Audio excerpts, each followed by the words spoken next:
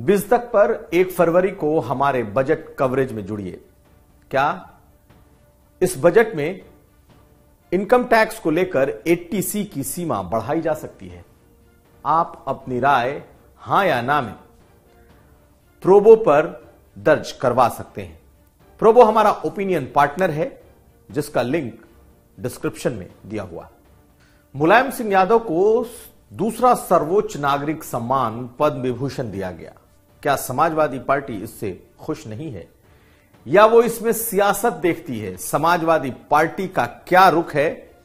और कैसे नेताओं के बयान इस पर आ रहे हैं? हम आपको एक एक कर ये दिखाएँगे। क्या बीजेपी सचमुच मुलायम सिंह यादव के नाम पर आगे की सियासत करना चाहती है? क्या वो नेताजी को सबके नेताजी बना रही है? हम ये भी बताएँगे। और साथ साथ ये भी देख लीजिए कि अब जब स्वामी प्रसाद मौर्य ने पंडितों और पुरोहितों के खिलाफ, ब्राह्मण बिरादरी के खिलाफ बोला तो कैसे समाजवादी पार्टी के ब्राह्मण नेता भी अब स्वामी प्रसाद मौर्य के खिलाफ मुखर हो उठे नमस्कार, मैं हूँ कुमार अभिषेक। आप देख रहे हैं यूपी तक। हम हाजिर अपना न्यूज़ शो आज का यूपी लेकर। गणतंत्र दिवस के पूर्व संध्या पर जब पद्म पुरस्कारों का ऐलान हुआ तो उसमें सबसे चौंकाने वाला नाम पद्म विभूषण के तौर पर मुलायम सिंह यादव का था। बीजेपी के सबसे बड़े सियासी दुश्मन सबसे बड़े आ, सियासी विरोधी मुलायम सिंह यादव को केंद्र सरकार ने पद्म विभूषण से नवाजा। यह देश का दूसरा सबसे बड़ा नागरिक सम्मान है। शायद समाजवादी पार्टी को भी इसकी भनक नहीं थी कि यह सम्मान बीजेपी उनके निधन के महज कुछ महीनों के अंदर ही दे देगी। समाजवादी पार्टी ने रात में तो कोई प्रतिक्रिया नहीं दी, लेकिन सुबह होते होते उनकी प्रतिक्रियाएँ शुरू हो गई। किसी ने कहा यह अवार्ड, किसी ने कहा कि यह अवार्ड मंजूर है, कबूल है तो किसी ने कहा कि यह मज़ाक है। लेकिन ज़्यादातर लोगों ने समाजवादी पार्टी के बड़े नेताओं ने इसे अंडर प्ले करने की कोशिश की कि यह तो नेताजी के व्यक्तित्व के से मैच नहीं खाता। उन्हें सर्वोच्च सम्मान दिया जाना चाहिए था, यानी कि भारत रत्न। तो पहले सुनिए, किस तरीके से बयान आने शुरू हुए। आज इटावा में डिंपल यादव थी, मुलायम सिंह यादव की बहू मैनपुरी की सांसद वहाँ पर झंडोत्तोलन के कार्यक्रम में थी। सबसे पहले उनका रिएक्शन आया और उन्होंने पद्म विभूषण मिलने पर तो कुछ नहीं कहा। उन्होंने इतना कहा कि नेताजी को भारत रत्न मिलना चाहिए था। पहले सुनिए क्या कहा है डिंपल यादव ने, फिर सुनिए क्या कहा है शिवपाल यादव अच्छा ये बताइए, नेताजी पद्म विभूषण मिला है, कितना गौरव फील कर रहे हो? नेताजी को जो। यह पद्म भूषण की उपाधि दी गई है तो ये मैं समझती हूँ नेताजी को भारत रत्न मिलना चाहिए। कद था और पहले ही इस तरह की उपाधि मिल जानी चाहिए थी नेताजी को। लेकिन हमारी मांग है सरकार से कि नेताजी को भारत रत्न दिया जाए। नेताजी को पद्म विभूषण से सम्मानित किया जा रहा है आप इसको कैसे देखते हैं? देखिए नेताजी ने किसानों की गरीबों की आवाज़ को बुलंद किया तो उसकी वजह से नेताजी क्या के लिए क्या इतना पर्याप्त है उनको भारत रत्न की भी चर्चा होनी चाहिए कि नहीं होनी चाहिए? चलिए सब कार्यकर्ताओं की जनता की मांग है। तो उसे तो पूर्ण करना चाहिए। तो आपने सुना शिवपाल यादव ने क्या कहा? शिवपाल यादव ने भी वही कहा जो डिंपल यादव ने कहा। कि उनका व्यक्तित्व भारत रत्न के लायक है और उन्हें भारत रत्न मिलना चाहिए था। यानी कि केंद्र सरकार ने मुलायम सिंह यादव को जो सम्मान दिया है, उसे समाजवादी पार्टी ने एक तरीके से अंडरप्ले करने की कोशिश की। लेकिन इन दोनों के बाद जो कुछ बयान आए, उसमें कुछ लोगों ने उसे कबूल किया। एस टी हसन, जो कि फायर ब्रांड मुस्लिम चेहरे हैं समाजवादी पार्टी के, उन्होंने कहा कि ये कबूल है। ये जो अवार्ड उन्हें दिया गया है पद्म विभूषण का, ये मंजूर है, लेकिन उन्हें भारत रत्न मिलना चाहिए। यह भी सुनिए, और उसके बाद हम बताएँगे कि स्वामी प्रसाद मौर्य ने क्या कहा। नेताजी का देश के अंदर जो कद है, और सिर्फ़ देश ही नहीं, बल्कि तमाम दुनिया में पहचाने जाते हैं, उनकी विचारधारा पे लोग चलते हैं। नेताजी जैसा नेता शायद ही कोई आगे पैदा हो, ये यकीनी तौर पे भारत रत्न से सम्मानित करा जाना चाहिए था लेकिन जो भी उन्होंने सम्मान दिया है उसका शुक्रिया बहुत बहुत। उनका ये भी कहना है कि केंद्र की घटिया सोच है इसके देखिए उन्होंने क्या कहा ये तो मुझे नहीं मालूम लेकिन उन्होंने सम्मान अगर दिया है तो हम वे, वेलकम करते हैं लेकिन हमें भी ये एहसास है कि नेताजी जी को भारत रत्न मिलना चाहिए वो डिजर्व करते हैं। मुलायम सिंह यादव को यह सम्मान दिए जाने के बाद सबसे तीखा बयान स्वामी प्रसाद मौर्य का आया। स्वामी प्रसाद मौर्य ने कहा कि ये मुलायम सिंह यादव के साथ सम, के साथ मज़ाक है। आजीवन स्वामी प्रसाद मौर्य हालाँकि बीजेपी की तरह ही मुलायम सिंह यादव के धुर विरोधी के तौर पर रहे। समाजवादी पार्टी से उनका दूर दूर तक कोई रिश्ता नाता नहीं था 2022 चुनाव के पहले तक।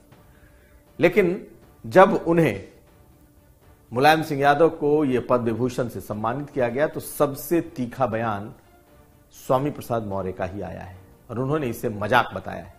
उनकी भी सुन लीजिए। सरकार ने नेताजी श्री मुलायम सिंह यादव जी को पद विभूषण का सम्मान देकर के उनके विशाल व्यक्तित्व, कृतित्व और देश के प्रति किए गए योगदान का मज़ाक उड़ाया है।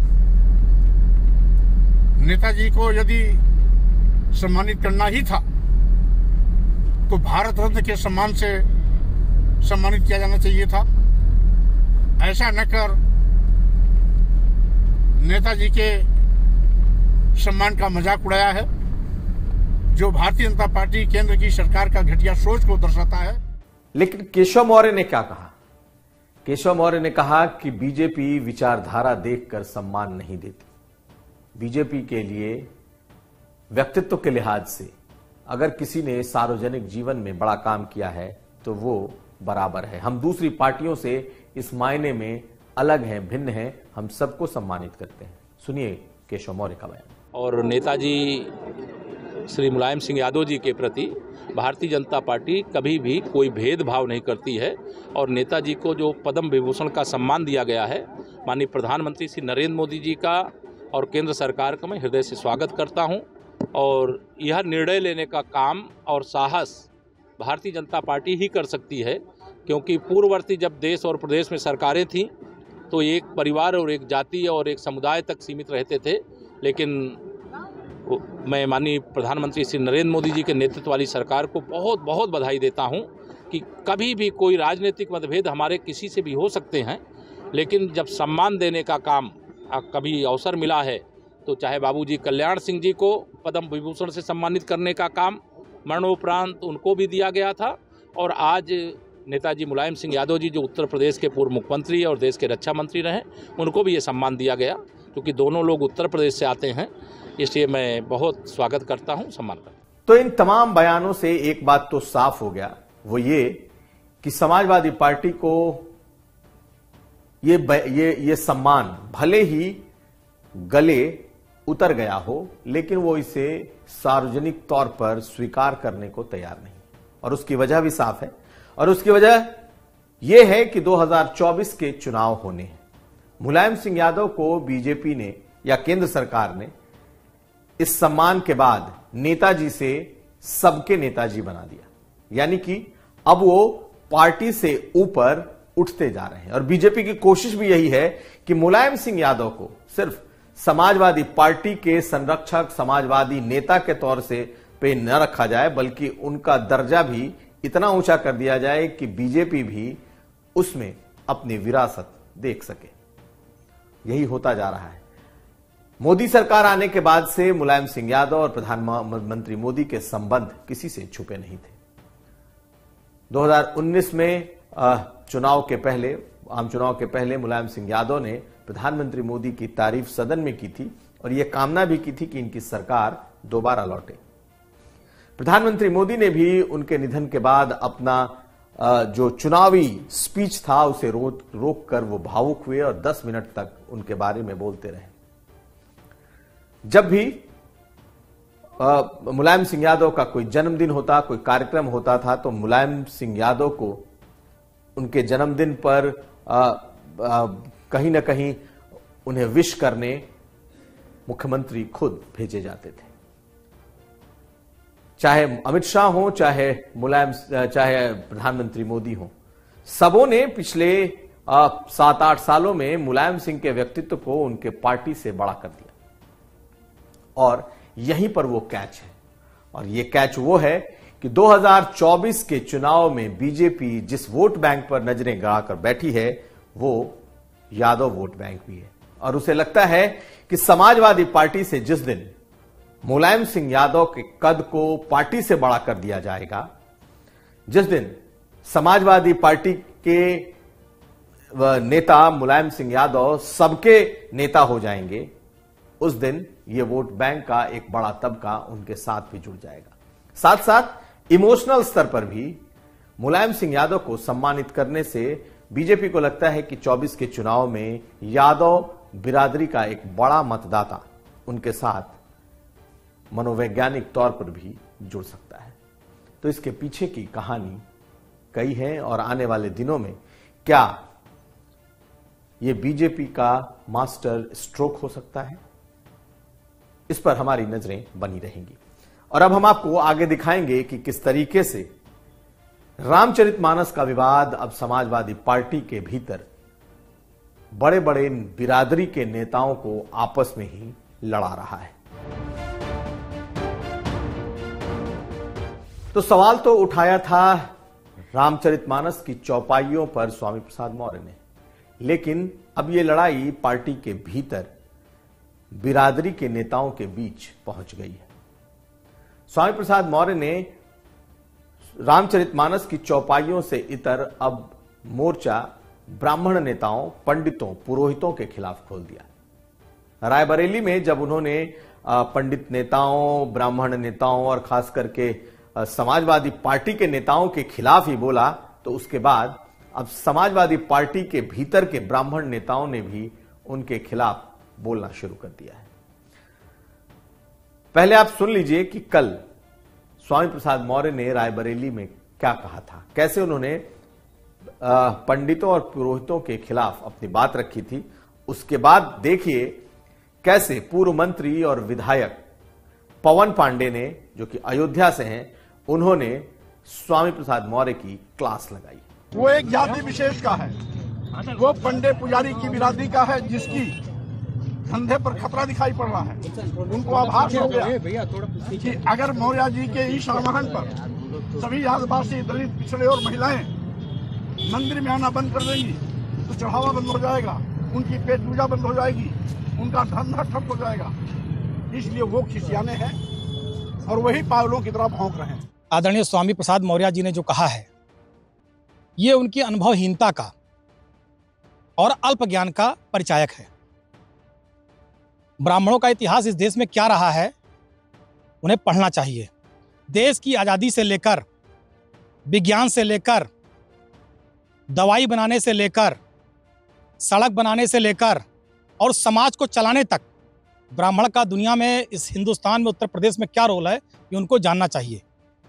हम लोग वसुधैव कुटुंबकम की परिकल्पना को मानने वाले लोग हैं। सर्वे भवंत सुखना। सारे लोग प्रसन्न हों, सबके घर में तरक्की आए। हर जाति, वर्ग, मज़हब का आदमी अगड़ा पिछड़ा, दलित, मुसलमान, यहाँ तक कि भी हम जानवरों के भी और दुनिया के पूरे। विश्व मंगल कामना करते हैं सबका भला हो। तो आपने सुना दोनों नेताओं को।